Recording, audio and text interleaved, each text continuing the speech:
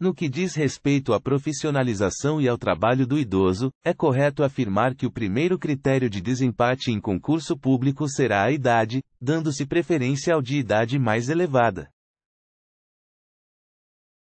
Analisando a questão, você responde: verdadeiro ou falso? O gabarito é verdadeiro.